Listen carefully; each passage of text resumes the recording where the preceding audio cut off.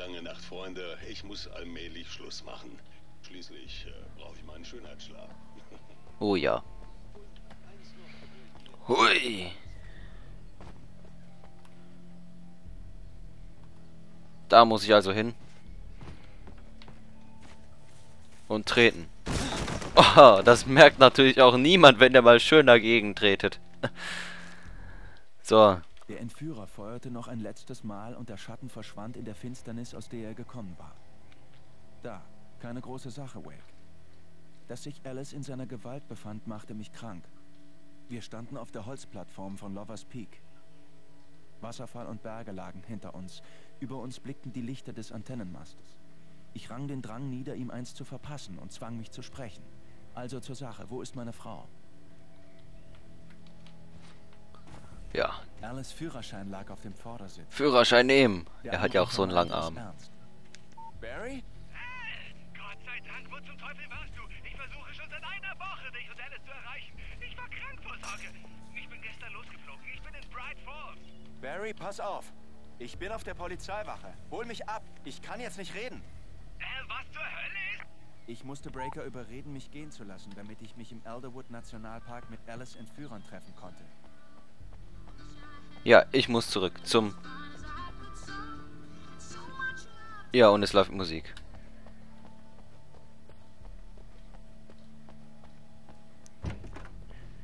Und was ist wohl mit dem Besoffenen los? Ja, er ist am Pennen.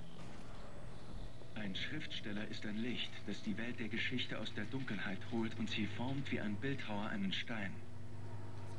Wenn ich aufhöre, stirbt die von mir erschaffene Welt. Die Dunkelheit holt sie sich zurück. Es ist eine lange Reise in die Dunkelheit. Alice Leben steht auf dem Spiel. Ich darf nicht daran denken.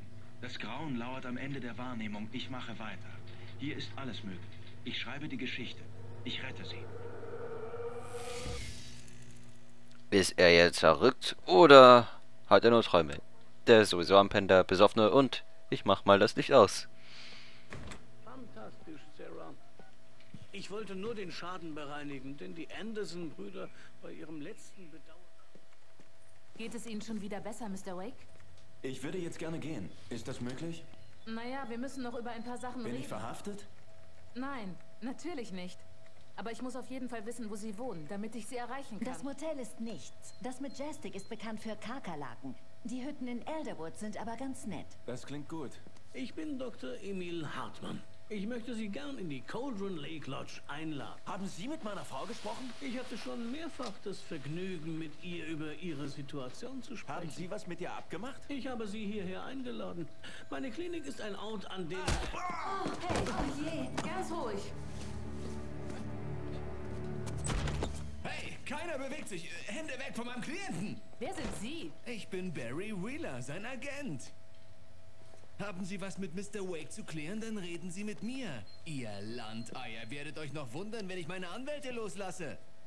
Mir ist nichts passiert, Sarah. Mir geht's gut. Ich will ihn nicht anzeigen.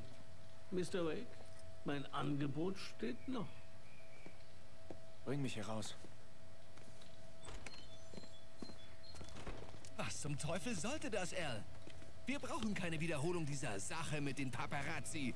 Ich dachte, sie würden dich einlochen.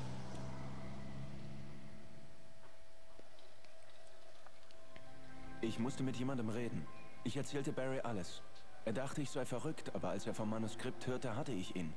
Dass ich etwas geschrieben hatte, reichte ihm, auch wenn ich mich nicht daran erinnern konnte. Er roch Geld. Und er glaubte mir, dass Alice entführt worden war. Alles andere war erst einmal egal. Um Mitternacht war ich mit dem Entführer an einem Ort namens Lovers Peak verabredet, irgendwo im Elderwood Nationalpark. Unser Plan war, eine Hütte zu mieten. Das ist nicht gut, Al. Es gefällt mir gar nicht, absolut nicht. Es ist das klare Gegenteil von gut. Mr. Wake! Barry, Sie haben ihn gefunden. Hi, Rose. Oh, wow. Ich habe auch gerade an Sie gedacht. Toll. Ich habe Rusty eben einen Kaffee gebracht. Er ist auf dem Balkon, kümmert sich um Max. Armer Kerl. Ich muss wirklich los. War schön, Sie wiederzusehen, Mr. Wake. Bis später.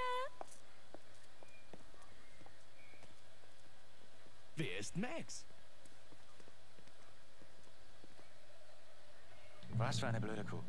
Himmel, Mister, ich leg mich mit jedem an. Es ist nicht Ihre Schuld. Sie ist sehr nett. hinzu kommt, ein Fan von dir. Ja, super. Und ich lese jetzt erstmal ein paar Sachen vor. Was anderes gibt es ja sowieso erstmal nichts zu tun. Skelett eines Prärie-Mammuts, Mammuts Columbi. Dieses Exemplar, dessen Alter auf etwa äh, 14.000 Jahre geschätzt wird, wurde 1981 in den okay irgendwas äh, Pits äh, gefunden. 1998 wurde es dem Elderwood Nationalpark gestiftet, als das Prärie-Mammut zum offiziellen äh, Staatsfossil Washington erklärt wurde. Das Mammut wurde Hasenzahn-Charlie getauft und ist inzwischen das offizielle Maskottchen des Parks. Ja, wie ein Hasenzahn-Charlie sieht der Mammut nicht gerade aus, aber egal. Ist ja deren Sachen, wie sie die äh, Sachen nennen hier, ne? Ernsthaft, äh, was du mir im Auto erzählt hast, hör dir bloß mal selber zu. Was, du hast jemanden erschossen? Und seine Leiche hat sich in Luft aufgelöst? Wann hast du das letzte Mal geschlafen? Bist du high? Hast du was getrunken? Nein, Mann, Barry, mir fehlt eine Woche. Irgendwer hat Alice. Alles weißt ist du eigentlich, wie es sich anhört, wenn du so ein Zeug erzählst? Ich meine, ist eine gute Story, wie ein Bestseller. Wenn du anfängst, Fiktion mit Realität zu verwechseln, bist du bei drei für die Klapsmühle. Warte hier. Ja. Was gibt's hier noch? Äh, saubere Küche, muss ich mal sagen. Ähm, ja. Ich muss nach draußen zu Rusty. Hui. Ganz ruhig, Junge. Es ist fast geschafft. Hi, Rusty, stimmt's? Sie vermieten Hütten. Mr. Wake, ich würde Ihnen ja die Hand geben, aber es geht gerade nicht. Tut mir leid, aber können Sie vielleicht selbst ein Anmeldeformular vom Tisch holen? Es ist gegenüber von Hasenzahn, Charlie. Okay, klar. Was ist passiert? Hirnlose Wilderer. Max ist mit seinem Fuß in eine Falle geraten. Die sind hier verboten. Es ist generell verboten, im Park zu jagen, aber ein paar Hohlköpfe können es einfach nicht lassen. Ah, Immerhin kommt Max wieder in Ordnung. Er hat Glück gehabt. Ja. Max ist noch benommen. Lieber noch nicht allein lassen. Das Formular Äh, ach so. Du kannst dich nicht einfach mit einem Entführer treffen. Sowas endet doch immer in einer totalen Katastrophe. Du musst mit den Cops reden. Sie ist meine Frau. Ich entscheide das. Können wir später darüber reden? Nein. Diese ganze Sache. Hör mal, du hast dir den Kopf angestoßen. Ich meine, ey, komm schon, du musst doch wissen, dass sich das völlig verrückt anhört. Wenn du mich verarschen willst, dann hat's geklappt. Haha, lasst uns Barry verarschen. Tja, du hast mich eingelegt. Echt witzig, El. Du kannst jetzt aufhören. Ja. Das Anmeldeformular unterschreiben. Mit dem unsichtbaren Stift.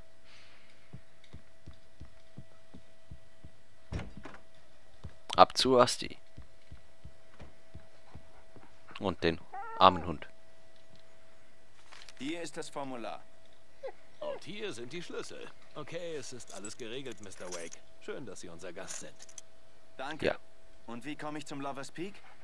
Oh, na klar. Er liegt am Ende des Naturlehrpfads. Der Weg führt Sie direkt dorthin. Es ist ein Spaziergang. Und ein schönes Plätzchen. Mhm, ein Spaziergang. Orientieren Sie sich am Antennenmast. Die befindet sich genau darunter. Ja, der Antennenmast. Hör mal, ich soll dir glauben, dass du einen Typen erschossen hast. Bups. Und der sich dann in Luft auflöst? Unverwundbar, bis du ihn mit einer Taschenlampe angeleuchtet hast. Das erzählen sonst nur Leute, die bis auf weiteres in Gummizellen einziehen. Im Bett fixiert, mit weißen Kitteln an, die viel zu lange Ärmel haben. Und jeden Tag bunte Pillen schlucken. Al, du machst dich sonst immer auf mieseste Art über Leute lustig, die so einen Quatsch glauben. Du bist der Skeptiker. Erst letzten Monat bist du stundenlang über Homöopathie hergezogen. Wie war das noch? Solange es keinen Beweis gibt, ist es völliger Quatsch. Punkt. Hab mich wohl geirrt. Al, komm schon. Ich meine, gut. Gut, vielleicht ist dir was Komisches passiert, okay? Na, vielen Dank für dein Vertrauen. Ich will damit nur sagen, dass das alles ein bisschen dürftig ist, Superstar. Was wäre, wenn ich dir sowas erzähle? Du solltest auf keinen Fall nachts mit einer Waffe draußen rumlaufen. Es hat dich niemand hergebeten. Hilf mir bei der Sache oder flieg zurück nach New York. Du hast die Wahl. So. Jetzt ab zur Tür.